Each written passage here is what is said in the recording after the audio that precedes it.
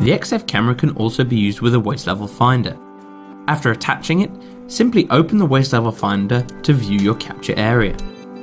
There is also a menu to work more efficiently with this finder. Go to Menu, UI Setup,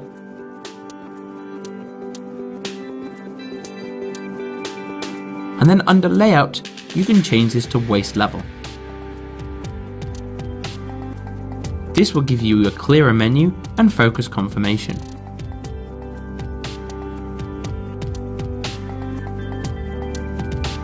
Finally, there is a small loupe, which you can release by pushing the grey latch.